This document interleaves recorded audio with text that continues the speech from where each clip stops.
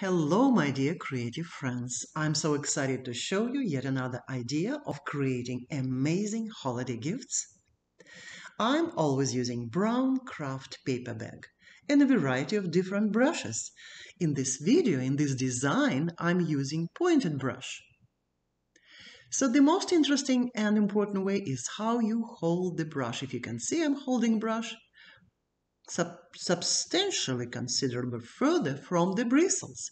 In this way, we create very impressive kind of loose movements and we create also imperfect image of a Christmas tree and that's what I like. I don't like straight lines. Okay, we are starting here on the top kind of um, triangle shape and add to this strip one skirt, another skirt, and another skirt.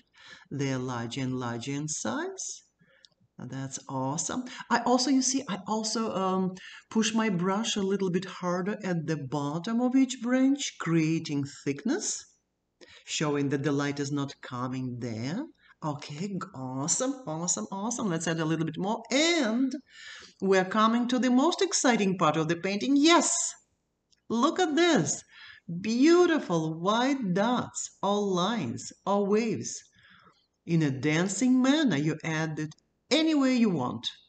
As large as possible, as small as possible, whatever you want to do, again in a very light dancing matter, and it creates such extraordinary, phenomenal design.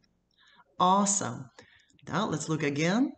Jump, jump, jump. This is not even speedy Mm, video. It's just showing the way I do it. Very quick to create light and loose movement. Good luck to all of you.